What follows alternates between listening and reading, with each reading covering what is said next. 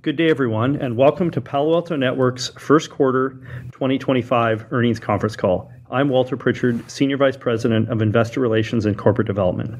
Please note that this call is being recorded today, Wednesday, November 20th, 2024, at 1:30 P.M. Pacific Time. With me on today's call to discuss first quarter results are Nikesh Arora, our Chairman and Chief Executive Officer, and Dipak Golechha, our Chief Financial Officer. Following our prepared remarks, Lee Klarich, our Chief Product Officer, will join us for the question-and-answer portion. You can find the press release and other information to supplement today's discussion on our website at investors.paloaltonetworks.com.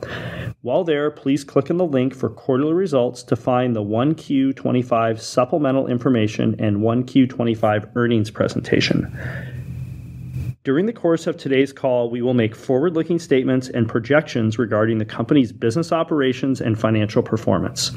These statements made today are subject to a number of risks and uncertainties that could cause our actual results to differ from these forward-looking statements.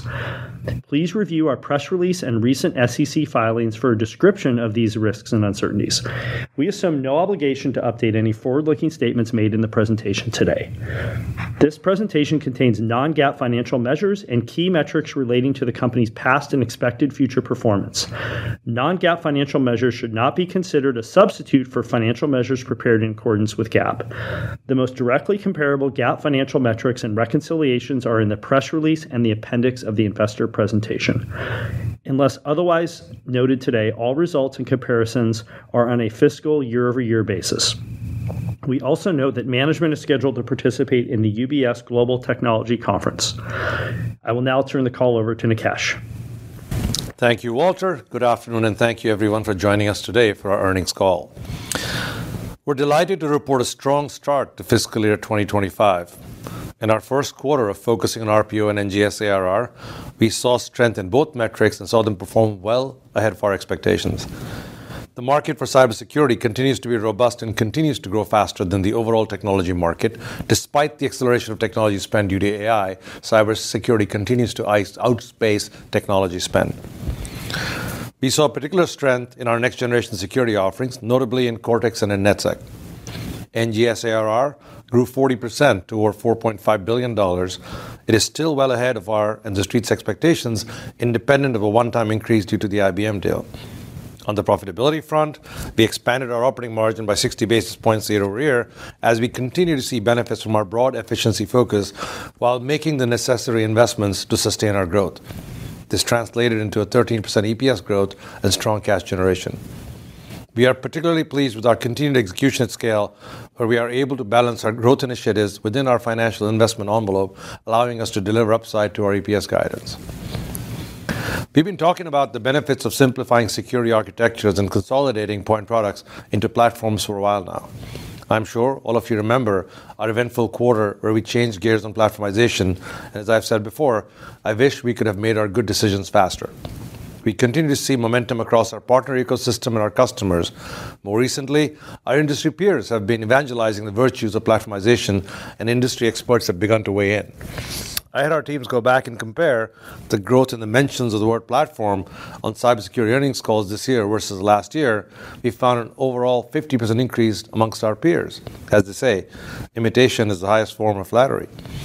As another point of reference, in recent research, Gartner sees 75% of security leaders actively pursuing a vendor consolidation strategy, although less than 15% of large enterprise customers have implemented at least any one security platform solution. Gartner expects that by 2028, 45% of organizations will use fewer than 15 cybersecurity tools in their product portfolio, up from 13% of organizations in 2023. I do want to reiterate the definition of what we want to achieve as a platform. Central to stopping threats of the future is a robust AI and automation platformization strategy, and data is at the heart of it all. Our approach is to ingest all relevant security data once, stitch and analyze this with precision AI technology, and natively automate end-to-end workflows. It's a tall order to take data from many different security vendors, analyze it on the fly, and make a decision to stop an attack fast enough, but we're encouraged with the early success of our XSIAM and cloud platform to do exactly this. in network security.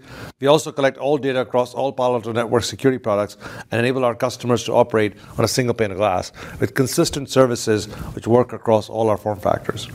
We believe our network security strategy is the most comprehensive platform available in the industry, encompassing a majority of the use cases via a single consistent interface. As one of our customers recently said, that's one pane of glass versus many glasses of pain. So while many of our competitors are talking about their platform approach, we don't believe they're equipped to deliver it in the way we can. We feel the cybersecurity industry is embarking into its next phase, where the market will continue to converge towards a fewer set of platformization players over the next five to 10 years. Point solutions will continue to get subsumed in these platform plays. Having started this trend, we intend to be one of those few players. With this being the first quarter of our fiscal new year, we further oriented our go-to-market enablement around platformization. Our goal is to broaden the effectiveness of our solution selling across thousands of sellers and arm them to sell the value of our differentiated security outcomes across network security, cloud security, and security operations. With platform-specific domain consultants and architects, we are able to bring tremendous focus to our go-to-market efforts. I'm again pleased with the results we're seeing. These came through in our Q1 metrics. We added more than 70 new platformizations, with about a third coming from our acquisition of QRadar SaaS. We ended Q1 with approximately 1,100 platformizations. Beyond the number of new platformizations in Q1, we also saw strength in ARR per platformized customer. Our Q1 ARR per platformized customer was up 6% versus the average we saw during fiscal year 2024. The improvement in ARR is driven not only by our success signing larger transactions, it is also driven by our team's ability to expand existing platformized deployments continuously with new innovation that is delivered. For example, in network security, we have seen significant value from the adoption of advanced subscription services and uptake of add-on modules in SASE, such as ADEM, or Autonomous Digital Experience Management, or CASB. ADEM and CASB are essential for us to be able to deliver AI solutions and AI access capabilities in the future, and we believe this capability will become existential for all SASE customers. Our Q1 performance keeps us on track to achieve 2,500 to 3,500 platformization deals by fiscal year 2030. We're happy with our continued strong growth in NGS ARR in Q1, fueled by our continued platformization momentum. We see multiple drivers here. Network security customers are increasingly deploying our software and SASE form factors, including adopting advanced Zero Trust security subscriptions across them. Over time, these customers have a significant incentive to converge their network security architecture towards adoption of our full suite of three form factors. Outside of network security, where we now have well over $2 billion in NGS ARR, we are also seeing our cloud security and Cortex security operations business become significant as well. Last quarter, cloud security crossed the $700 million milestone, and this quarter, Cortex crossed the $1 billion milestone. Looking at the large platform deals, we see a variety of opportunities across all of our customers. We signed a transaction with a large technology firm for over more than $50 million. This deal was headlined by a SOC transformation, where we both replaced multiple SIEMs with XSIAM and added XDR. The customer is facing rising costs in their SOC with little automation and inadequate visibility into the rising number of tailored attacks that leveraged AI. The customer was a QRadar customer, and a year ago had platformized with us in network security. In this transaction, they added SD-WAN as well. Next, we had a deal north of $15 million in value with the National Hospital System, platformizing their network security, which included ELA for our firewalls. The customer was focused on both preventing a breach after observing the many high-profile incidents in the healthcare industry, as well as reducing operating costs. We displaced a legacy firewall vendor and also set ourselves up for future SASE deployments. In SecOps, we also have an initial Cortex footprint in this our customer with an XSOAR deployment. A financial institution customer standardized on our firewalls, including an ELA in a transaction for over $20 million, after standardizing on our network security platform with SASE in fiscal year 2024. While we had to win the firewall business based on the capabilities of our appliance, our SASE platformization and our consistent NetSec architecture across form factors was a big differentiator. With the benefit of our consistent network security architecture, we were able to streamline operations across the network and drive lower costs. Last but not the least, we signed the transaction greater than $30 million with a physical security services company. The customer signed a large transaction with us last year, platformizing network security and security operations. In this quarter, the customer expanded both its XSIAM and XDR deployments and added SASE and network security. This was a challenging deal as there were significant changes at the customer with new IT leadership, including someone who had previously deployed a SASE point product from a competitor. We were able to show both cost savings and a better security outcome from our consistent NetSec architecture. Our expanded Cortex footprint was driven by the customer's confidence that we are helping them identify and stop attacks. Overall, these are representative of a large deal momentum, where we saw 305 transactions over a $1 million, up 13%, and 60 transactions over $5 million, up 30% this quarter. Switching gears, let's take a look at our three platforms and how they're supporting our growth. In network security, we continue to see steady demand in our product business. The demand continues to be a function of customer refreshes, capacity expansion, and selective competitive takeouts driven by the customer's desire to deploy a network security platform across the category. We're also seeing customers who, as they move to the cloud, are beginning to deploy more and more software firewalls to protect their cloud instances. With the recent upgrade of our products to be able to solve AI use cases, we continue to feel positively about strength in public cloud deployed public cloud, cloud deployed software firewalls. These represent 70% of our total virtual firewalls ARR and are driving our growth in this area. SASE continues to drive transformation deals, as you saw in our customer stories. The true power of SASE and its extensibility now to our newer use cases helps validate the case for many of our new customers. Our SASE platform has recently integrated AI-based monitoring, incremental capabilities to manage AI applications, and even more recently, the Prisma Access Browser, which we will talk more about in a minute. Whilst our SASE customers grew 20%, more interestingly, 40% of our SASE customers this quarter are net new to Palo Alto Networks.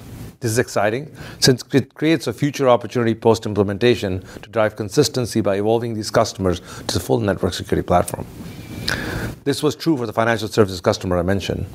In addition to landing these SASE customers, we also have seen success driving large deals with SASE transactions over $1 million in contract value, up 40% in Q1.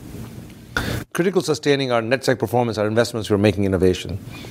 We released an enhanced security capability for operational technology environments to address the growing challenges our customers face as the number of non-IT connected devices accelerate.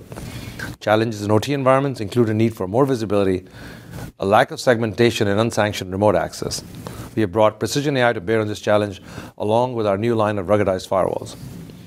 We also saw strong interest from customers in our broad secure AI by design portfolio, with AI Access leading the way. Our teams have been busy driving customer engagement, we have hundreds of customers leveraging AI Access. We currently secure over 750 AI applications, a volume which we believe leads the industry and are growing this figure by the day. We are also providing inline data loss prevention for more than 65 applications, with this number growing as well.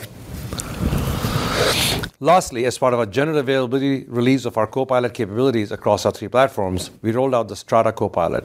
In our development process, we prioritized delivering superior accuracy, and we've had fantastic feedback.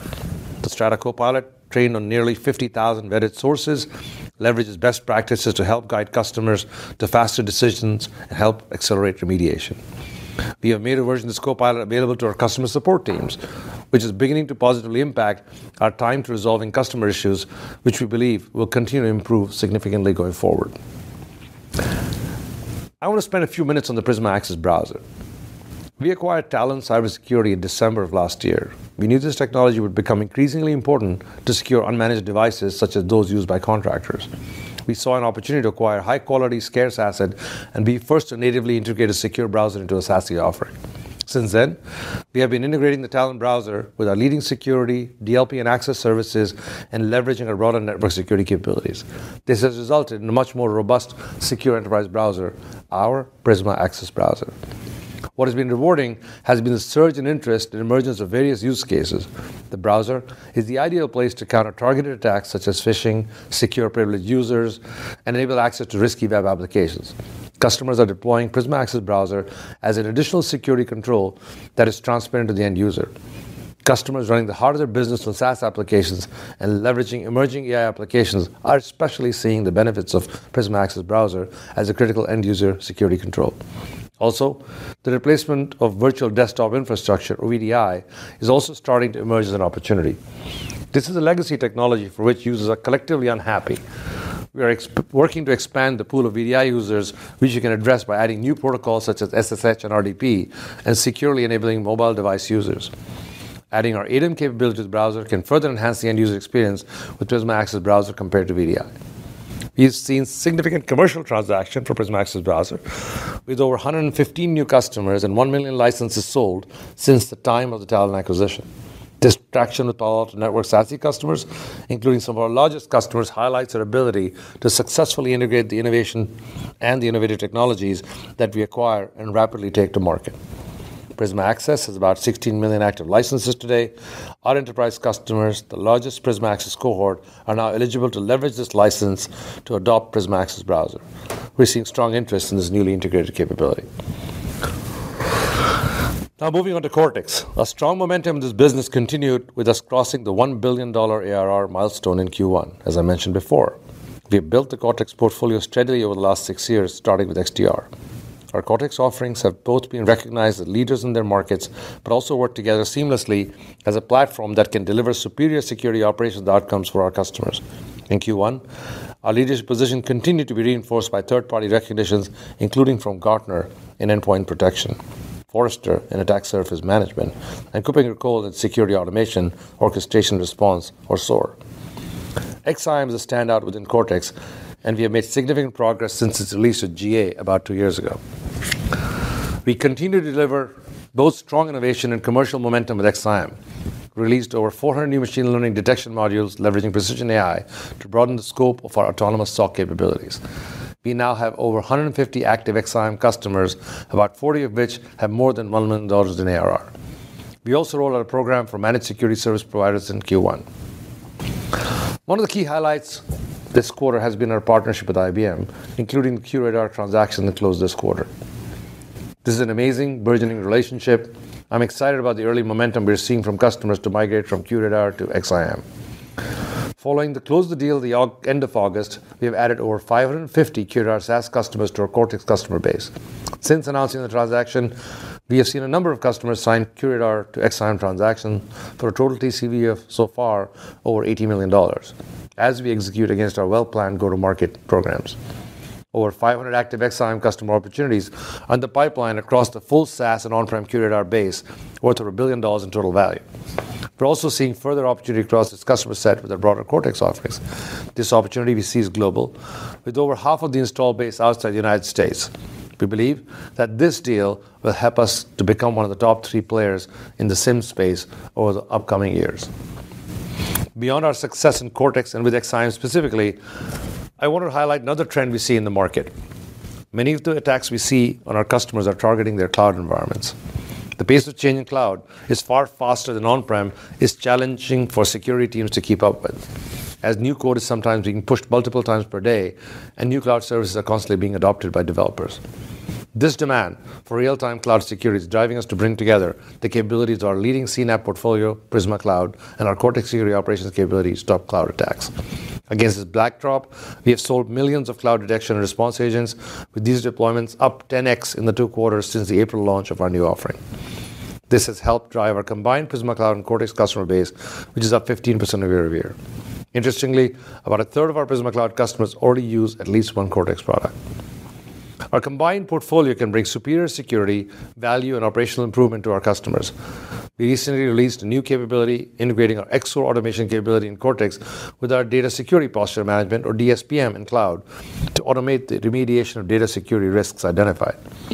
We also released our AI copilots for Prisma Cloud and Cortex to general availability. While early in their adoption, we see significant promise here, driving towards security operations that are machine-led and human-empowered. In our Cortex Copilot beta, nearly half of users trusted to take security action on their behalf. With the recent flurry of conversations around agentic AI, we have begun embedding agentic capabilities across our copilots. We believe this agentic vision of AI will be hugely impactful in security, and we're moving swiftly to adopt that into our products. We continue to drive innovation in our cloud security offerings. We released DSPM from our Dig acquisition. We integrated that into Prisma Cloud to counter the rise in cloud data attacks. These critical DSPM capabilities enable customers to trace potential attack paths in their cloud environment to determine what sensitive data is at risk, appropriately prioritize their response, and remediate automatically. Along with our overall launch of Secure AI by Design, our AI Runtime and AI SPM offerings targeted at cloud environments have also seen positive early traction. Lastly, we also launched another program for managed security providers as customers to enable partners to deliver security services in their customer cloud environment. Before I wrap up and hand the call over to Dipak, I want to leave you with a few thoughts. One, we're seeing growing industry validation of our strategy, with Q1 marking yet another steady quarter of progress. Platformization is fueling the growth of our NGS ARR and puts us on track to hit our long-range targets as we drive sustainable, profitable growth.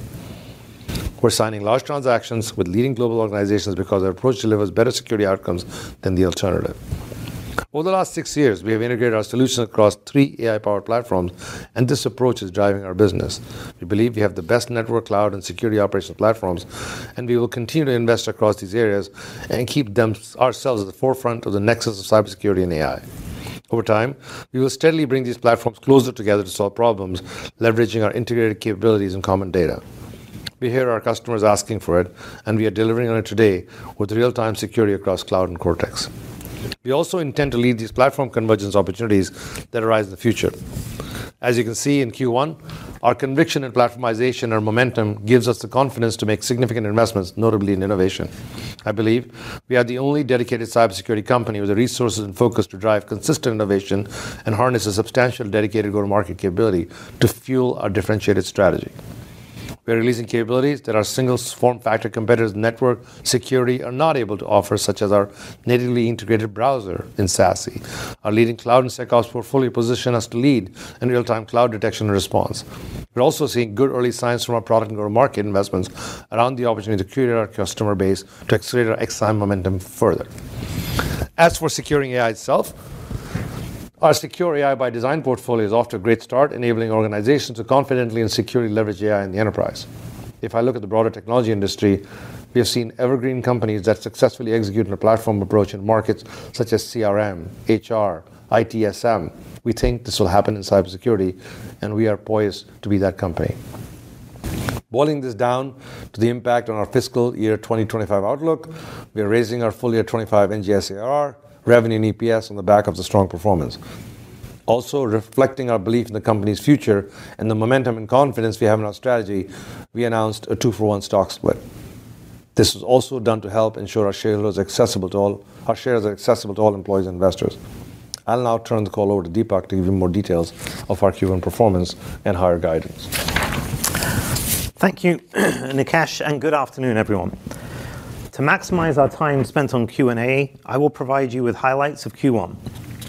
You can review the results in our press release and the supplemental financial information on our website. Note that we have removed billings and added NGS ARR and RPO to our supplemental financials, reflecting our focus on the latter metrics.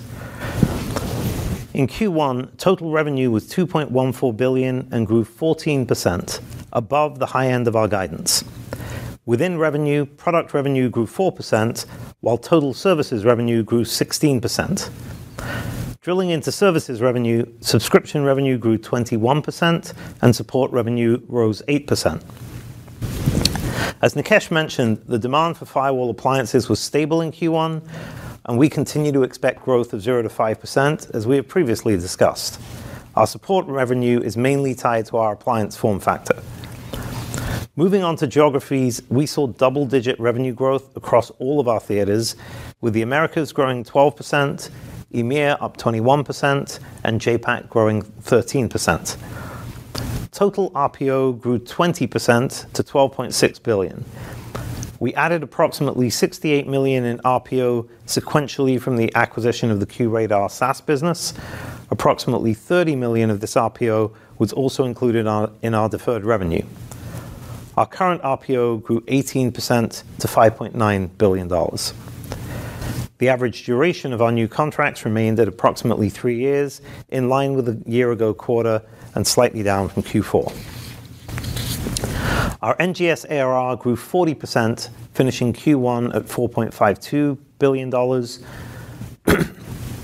We added 74 million in NGS ARR from QRadar SaaS.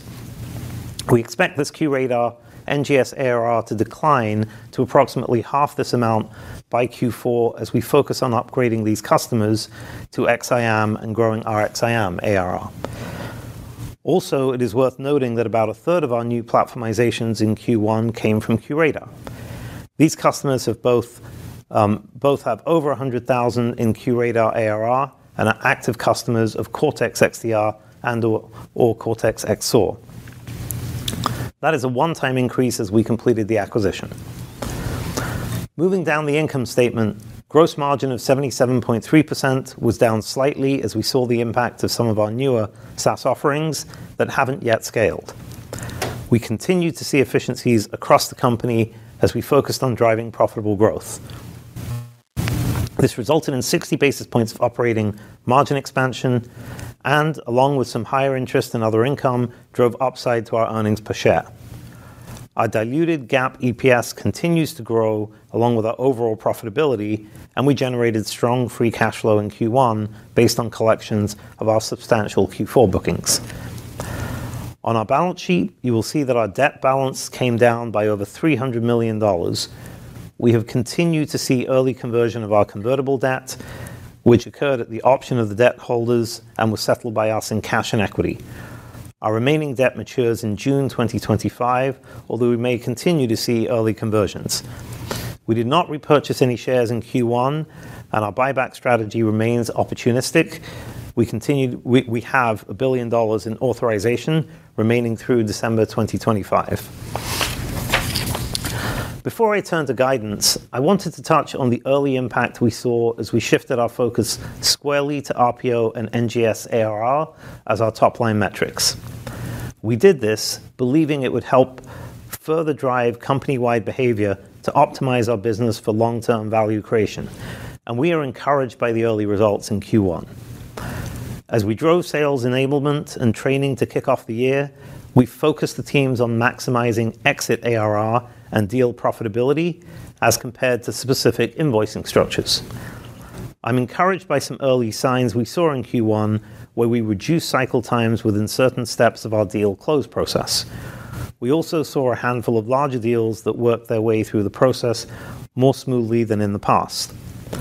For example, a seven-figure SASE deal with one of the world's largest semiconductor companies accelerated through our process after we structured the deal around annual billings as compared to prior PANFS proposals, which would have needed longer scrutiny and approvals at our customer.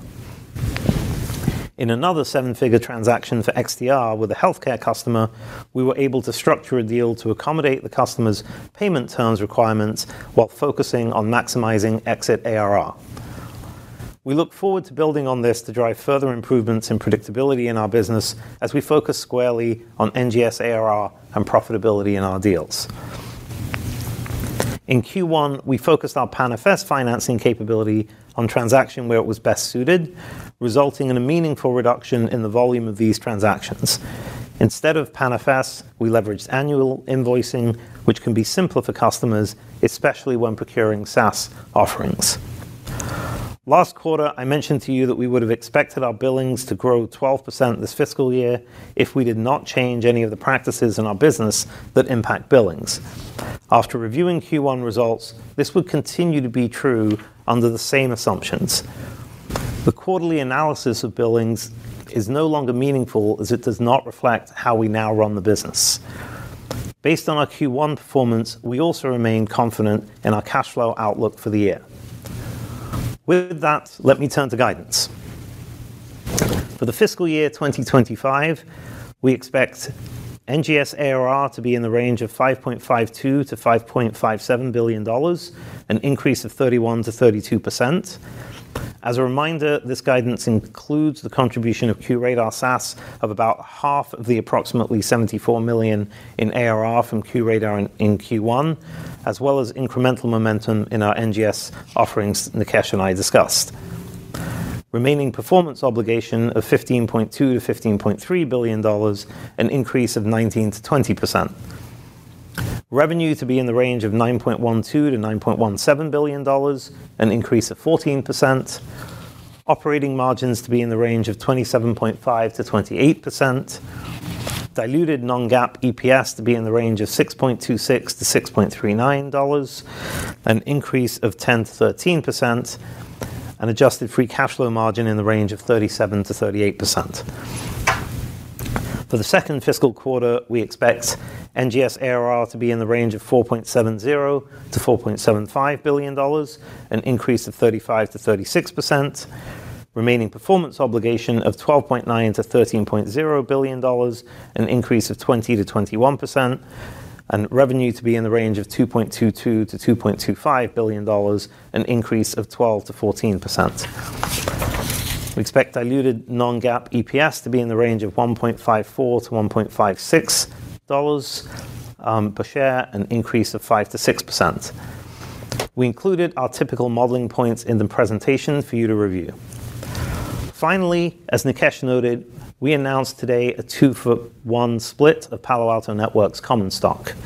This decision is supported by underlying confidence in our continued business momentum and by our desire to make our stock more accessible to our employees and a broader group of investors. Shareholders of record at the close of trading on December 12th, 2024, will receive one additional share after the close of trading on December 13th, 2024, for every outstanding share held on December 12th. Our stock will begin trading on a split-adjusted basis on December 16th, 2024. With that, we'll start Q&A. To allow for broad participation in the Q&A, I ask that each analyst only ask one question. Our first question will come from Saket Kalia from Barclays, followed by Brad Zelnick from Deutsche Bank. Go ahead, Saket. Okay, great. Hey, guys, thanks for thanks for taking my question and uh, nice start to the year. Um, maybe this is a question for both uh, you, Nikesh, and Dipak. You know, the platformization strategy is is clearly starting to hit its stride. And and we've talked about the ARR implications uh, uh, of that longer term, specifically the the the long-term ARR target. But I'm curious if we can just talk about the margin implications from platformization long term, as as those deals tend to be bigger and also tend to have higher lifetime value. Well, uh, I'm going to add Dipak to add, but look, we look at plat- we look at margin. Uh, if you look at the biggest cost on any enterprise company's P&L, it's the cost of sales, by far. The second largest cost is your COGS as it relates to cloud spend. Now, we are privileged to have some amazing deals with two large cloud service providers, which allow us to maintain margins that are consistent almost with on-prem solutions that other people do because of our scale. Uh, and we expect that to continue to improve over time. So that at one end, that's a significant factor. The second significant factor towards margin improvement is, as I mentioned, cost of sales. So the more we can platformize with existing customers and have large deal sizes with customers, it reduces our effort. We don't have to get 20 deals to get $20 million like some of our peers. We get one deal for $20 million, which means the cost of sales is lower on an incremental basis as we establish the land and expand strategy from a customer perspective. And last but not the least, you know, I sort of alluded to it, we're noticing some very interesting outcomes from a customer support perspective, which ends up being the third largest area of cost. We're seeing in some cases uh, our tier one support cases are getting solved by support copilots, which our support teams are using. So we're significantly reducing the time to resolution of support tickets, at least on the sort of simpler end for now. But as I said, we've trained 50,000 data points into our network security copilot. I think as we get better and better at training our models and training our customer support copilots, where we have fully revamped the way we collect data on customer issues, I think there's tremendous potential there to give us future margin expansion. So I think across the board, margin expansion on COGS, margin expansion from lower cost of sales, and margin expansion from customer support uh, automation. Great. Thanks, Saket, for the question. Next up is Brad Zelnick from Deutsche Bank, followed by Hamza Fodderwala from Morgan Stanley. Go ahead, Brad. Great. Thanks so much and congrats on a strong start to the year. Um, Nikesh, your NetSec competitors are talking about hardware refresh cycles, and I appreciate hardware is a much smaller part of your mix. So I won't bother asking why you're not expecting a refresh benefit like they are. But we look forward to their refresh cycle, so we get a chance to take out their customers and replace them with Palo Alto. So I'm delighted there's a refresh cycle in the market. And that's exactly what I wanted to ask. And Instead, how should we think about their refresh impacting your opportunity, both in the positive sense that you can go in and displace them as their boxes reach end of life, but also perhaps as a headwind if they're using the event to bundle in SASE, SecOps, and other next-gen capabilities? Are you running campaigns actively to go after this? Thank you. So, Brad, let me parse that out. Actually, uh, you know, I know I spoke fast uh, and uh, English is my second language. So I did try to subtly land in there that I am positive about hardware. where I said we're seeing steady growth in hardware, both from refreshes of boxes for our customers. We're seeing expanded demand for new use cases like ruggedized and IoT, et cetera. And last but not the least, we are seeing slow and steady takeouts of other customers. So what's happening is our SASE cohort from two or three years ago, very landed with SASE. As that end of life happens in that customer base for firewalls, they turn to us and say, now I know the Palo Alto security interface. I don't have to learn it. And they can just put firewalls, hardware firewalls, against that SASE management pane because we have the same security management pane across SASE. So it's not going to be revolutionary, but it is going to be evolutionary. If you look every year, our market share in hardware firewalls goes up 200-300 basis points. So we think uh, there are donors in the market of market share who will constantly donate market share as they hit their refresh cycles. And there are acquirers of market share, and we're hopefully one of those. So I actually have a steady expectation from product hardware, uh, which I think is going to underpin our growth across the board over the next few years. Great. Thanks for the question, Brad. Um, next is Hamza Fodderwala from Morgan Stanley, followed by Brian Essex from JPMorgan. Hamza, go ahead. All right, great. Good afternoon. Thank you for taking my question. And great to see the success with uh, Prisma Access Browser uh, a year into that acquisition. Um, Nikesh, I wanted to get your just maybe early view into 2025. I mean, on the one hand, there's some optimism on the macro. You have a lot of new products. On the other hand, you know, CIOs, CISOs, they still want you know value for what they're spending.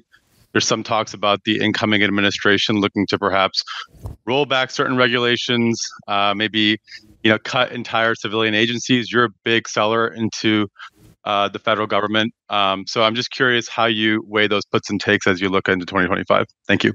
Thank you, Hamza, for a great question. Look, I think the most, if you separate signal and noise, the biggest signal is AI in the next 12 to 48 months. And AI is already having significant impact both on the attack side. Attacks are getting faster and faster and quicker.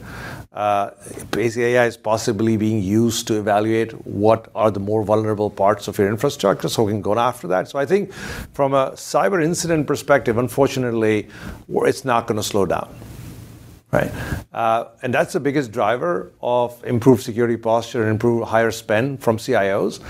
I think you're right. There is a consolidation. Let me spend less money for security. And there we are discovering it's a more top-down motion than it is a bottom-up motion. And uh, as you're aware, we're expending a lot of effort towards interacting with CIOs and C-level executives. And actually, we're spending a lot more time with our GSI partners trying to address that issue because they're typically involved in the transformation stage where they say, let's take all of this stuff and put it together and replace it. So you know, we're seeing early success. Um, as I said, we should have done that sooner because when we sit across the CIO and say, look, you have nine different products, we could bundle it together, take it down, have one management pane, and you'll save a lot of cost because, and they understand because we're not ingesting data nine times across nine products. We're ingesting it once, analyzing it nine times, and giving them the outcomes they want. So I think the trend is in our favor. As regards the incoming administration, I think you know, clearly a higher standard deviation administration by the sounds of it. And higher standard deviation implies more risk, and more risk implies possibly a more return. All right. Thank you, Hamza. Uh, next up is uh, Brian Essex from JPMorgan, followed by Joe Gallo from Jefferies. Go ahead, Brian. Great. Thanks, Walter. Thank you for taking the question. Um, and great to see the strong profitability and cash flow, by the way.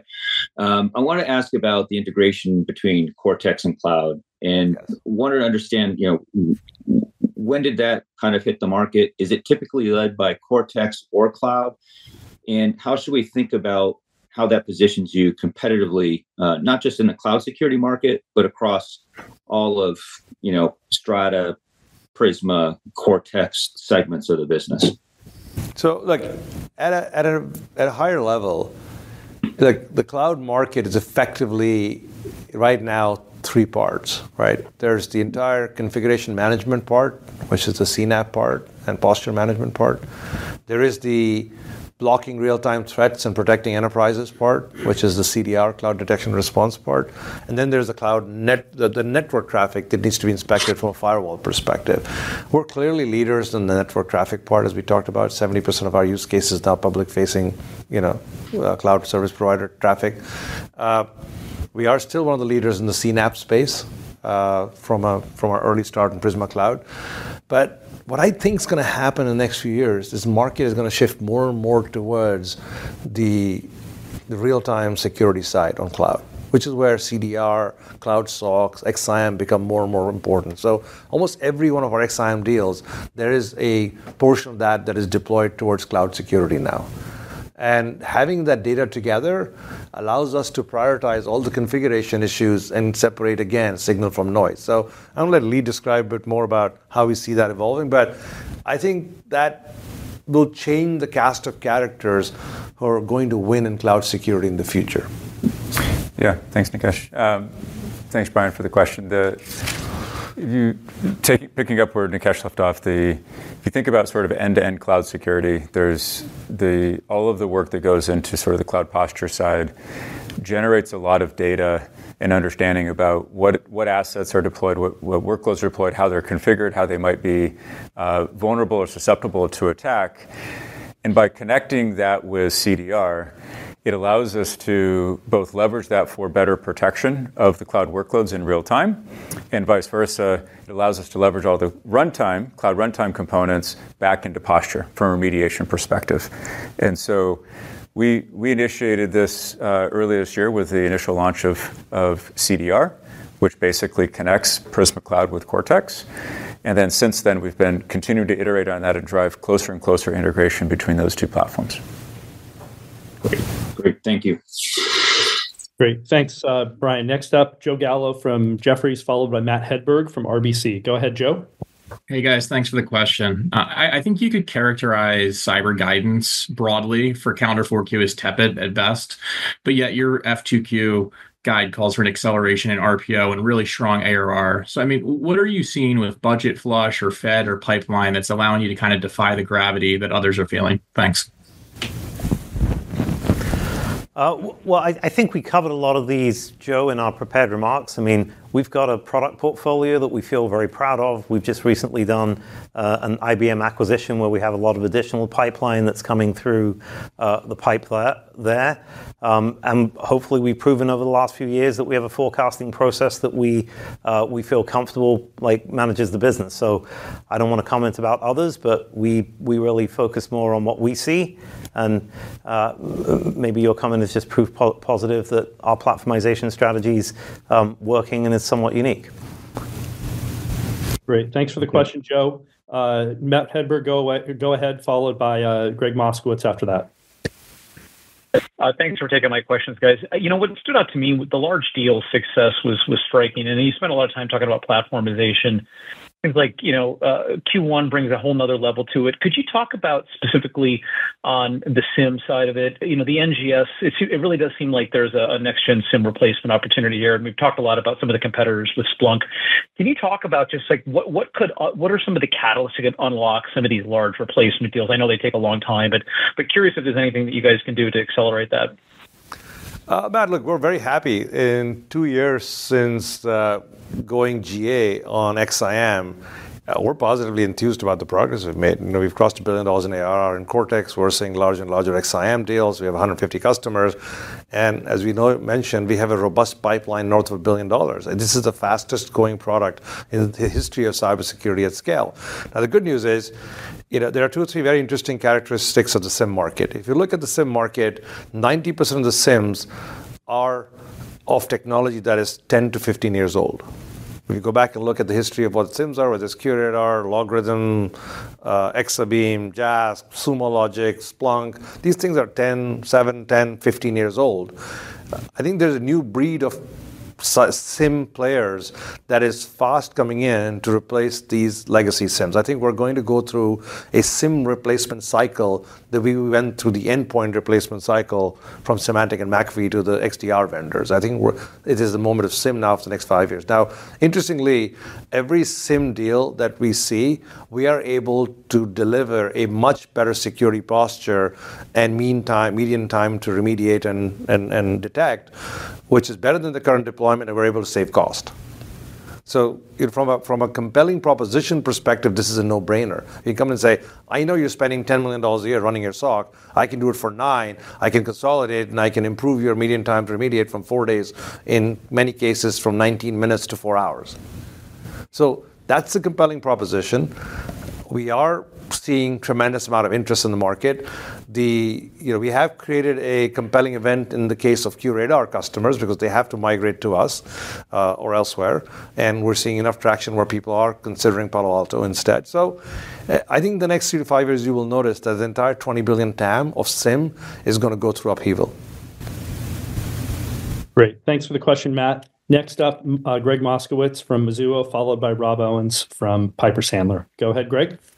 Great. Uh, thanks for taking the question. Nikesh, now that we're a few quarters into the platformization go-to-market, I'd love to get a little more of a flavor of how it's going. You know, is there an aspect or two of the strategy that's been most successful so far? For example, if you were to look at traction with legacy trade-ins versus introductory offers or more multi-product incentives, what would you say is resonating the most with uh, with customers?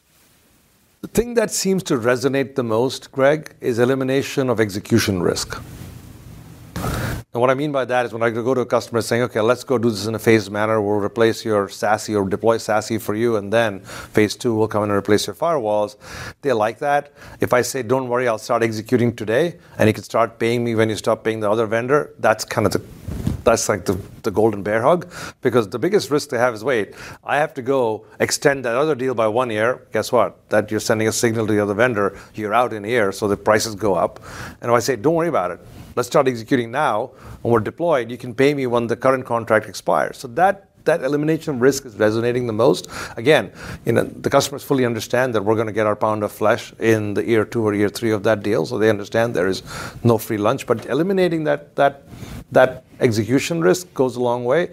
I think the, as, as I said to Hamza, and I said in our prepared remarks, uh, it really helps us step back and say, "Look, what are you trying to achieve?"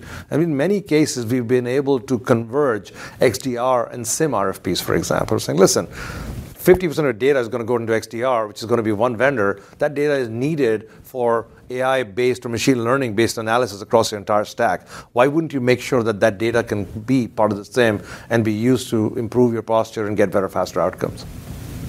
Thank you.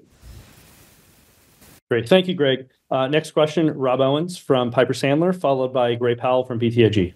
Yeah, thanks, Walter. And Nikesh, as as, part of your prepared remarks, I'd love for you to build on uh, the data security. And, you know, another one of those holy grails alongside next-generation SIEM, of course, is is data that everybody's chasing. So what you're seeing from end customers, I know you've made acquisitions of a DSPM capability in the space, but how you see Palo Alto's evolution longer term relative to the data opportunity? Thanks. Rob, this is my perfunctory question I have to give to Lee, otherwise he tends not to- Sounds good. Uh, uh, thanks, Rob. Uh, the look, if you take a step back, data security is a long-standing sort of product category that's often been very painful. It's difficult to be accurate in data classification, it's difficult to figure out what policies to enforce, and it's difficult to do that holistically everywhere that data might exist and need to be protected, right? So there's there's there's two pieces to our um, data security strategy that you've you've uh, seen us evolve. First is around getting coverage of all the places where data might exist and improving the data classification capabilities um, within those. So, uh, over the last six months, we've launched uh, AI-based data classification, leveraging large language models, machine learning models, to get more and more accurate in the data classification, being able to apply that to all different places where data can exist and move. The second piece, and very importantly, is the tie-in with Prisma Access Browser. The way that users interact with data, access it, download it, share it, is one of the highest risk areas for data security, and historically has been very difficult to get all of the necessary context for enforcing an accurate policy. Within the secure browser, we get all of the context needed. And, and what we're already seeing with the early adopters of Prisma Access Browser is the realization that this uh, one component of what it does is effectively a next-gen data security uh, component for how they secure data interaction with all of their employees. And this is part of the um, reason why the browser is, is expanding from being you know, primarily focused on unmanaged device and third party contractors to actually being something that applies to all devices and all users across the entire enterprise. Great. Thanks, Rob, for the question there. Uh, next up is Gray Powell from BTIG, followed by Andy Nowinski from Wells Fargo. Go ahead, Gray. All right, great. Um, thanks for uh, letting me ask a question on the call. Really appreciate it. Um, so I have to admit, I, am a little confused on the NGS ARR statistics. Uh, if I look at the numbers um, and back out the QRadar deal, you added around 230 million in net new ARR this quarter, versus 270 a year ago. Um, that, that, that, metric's never been down um, on a year over year basis before. So, is there something I'm missing or something with the acquisition that maybe I'm not thinking about, or just like what was the driver there? And then for the full year increase to NGS ARR, um, how much of that is organic versus um, you know full visibility on the QRadar asset? So, so let me let me answer both, Gray, and let me just start off with the NGS ARR was above our guidance. So some of this we, we already knew when we provided the guidance, but uh, you, know, um, some of the products that move into NGS uh, ARR have also been the advanced versions of our cloud subscriptions from a year ago. So things that were uh, attached to our firewalls, where we made them cloud enabled. Some of that happened last year, which is what led to a lot of the increase in the ARR. We're now lapping that. We're not. Um, so, so that's really the bigger explanation of the base. We knew that. That's why we included that in our guidance to begin with. When it comes to uh, what's happening with, uh, with, with QRadar, we talked about the one-time benefit. Our strategy is to convert all of the customers to XSIAM over time. We expect about half of that to occur within this year. So we would expect maybe half of that um, additional NGS ARR to be there by the end of the year. So Gray, I think to, to, to recast what Dipak said, you have seen the peak uh, in organic NGS ARR this quarter at 74 million, or is that the number, from IBM. And half of that we will migrate to us, and we expect half of that still stay on QRoC for to the end of this fiscal year. So there's no more net new inorganic NGS ARR expected this year. Understood. Okay, thank you. All right, great. Thanks, Ray. Uh, next up, Andy Nowinski from Wells Fargo, followed by Fatima Boolani from Citi. Go ahead, Andy. Great, thank you. Good afternoon, um, and, and, great results uh, this afternoon. I, I, wanted to ask you about the uh, Prisma SASE. Uh, you, you, highlighted a number of uh, large deals that either deployed SASE or they expanded with SASE, and I know it's bringing in a lot of new customers, which is great. But I was wondering if you could provide an update on the growth of ARR from that solution, whether you know those new customers you're bringing into Palo Alto onto the platform are coming at the expense of other vendors, or are those were they just not using any any SASE solution previously? Thank you. So, Andy uh, all of the above. There are some customers who are going through a network transformation, and they're now replacing their legacy VPN VPN clients or uh, other solutions they've had in the past. In some cases, there are competitor vendors who only had a internet proxy based uh, deployment with legacy VPN, or in some cases, Palo Alto VPN, which is converting to a full SASE solution from us. So we see all variants of that. As we said, 40% of them are net new logos to us, which means they were not deploying a Palo Alto VPN. They're deploying our SASE solution. Uh, so we're seeing all of that. I, I just think the SASE market, as I've said in the past, is a fast growing market. We have clearly established ourselves as one of the top three players in the market. I think we're definitely growing faster than some of the other, one or at least one more of the other top three players in the market. Um, and we particularly like the SASE space because we're always innovating, providing new stuff. As you know, we've basically, as, I said in my, my remarks, we've made it available to every existing SASE customers. They can deploy Prisma Access Browser for the unused licenses, so they can actually experience the browser. It's integrated. It's in the same management pane. It's the same UI. Yeah, so I, I, guess feel positive about it. Uh, We haven't quite reached a $1 billion yet, as we've told you, but we're looking forward to it. Thank you. Great. Thanks, Andy. Uh, Fatima Boolani from Citi's up next, and our last question will be from Roger Boyd from UBS. Fatima, go ahead. Thank you. Good afternoon. I appreciate you taking my questions. Um, you know, I think the topic du jour is definitely QRadar and a lot of the momentum that you've been seeing, uh, the $80 million uh, or more than 80 million of bookings that you've already seen in a short amount of time. Um, what I wanted to actually shift gears on is on the on-premise side of the QRadar business. And Nikesh, Uh, some of your commentary, which I think is so apropos, uh, there is just a stodgy, stale uh, technology in the SIEM market, right? So that um, 500 million or so of revenue that is just still captive in the QRadar on-premise space, um, what is the thought process, the strategy to really forklift those customers to the the goodies in And As you think about um, the arc of the next 12 to 24 months, how should we think about, you know, a multiplier effect on that business to really um, give Cortex booster shot to have it potentially be your biggest pillar? Yeah, Fatima, I, uh, you know, we had our board meeting yesterday, and one of my board members and I had this debate about which deal is gonna look like the best deal Palo Alto ever did. And my bet is in the IBM deal. He bet on the Talon deal. Of course, I'd like both of them to be equally successful. But uh, specifically as it relates to QRadar, our teams are very focused. Eh, since close, we've called the top 500 customers and reached out to see if we can support the migration from QRadar to Palo Alto. This is irrespective of whether they are QRoC or on-prem. Uh, I mentioned a billion-dollar pipeline.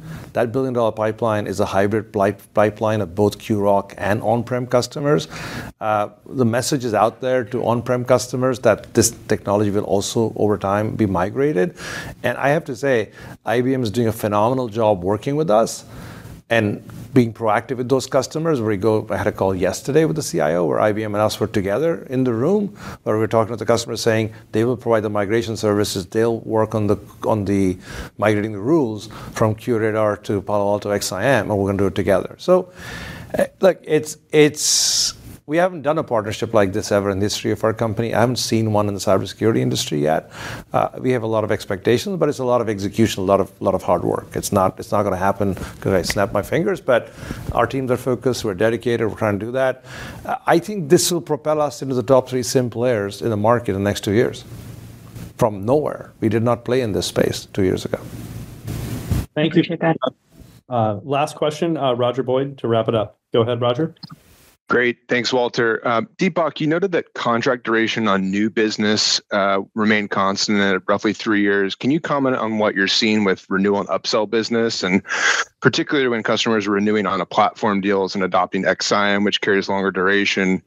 Um, I guess as we as we look to gauge success of some of these platformization deals, shouldn't we expect to see contracts lengthen as customers uh, place more strategic bets on on your platform? Thanks.